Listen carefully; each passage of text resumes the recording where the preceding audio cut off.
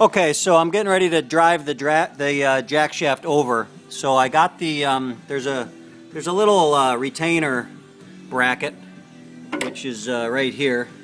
Um, basically, this uh, this was right here keeps the bearing in place. So take the nut off. Be very careful you don't drop that nut. It's a 13 mil. Um, now you can see the bearing is just kind of like laying in there. There's nothing holding it in. Um, I mean, it's tight, but so now when I give that a whack or two on that side, that should drive this bearing out of this side and slide the jack shaft over.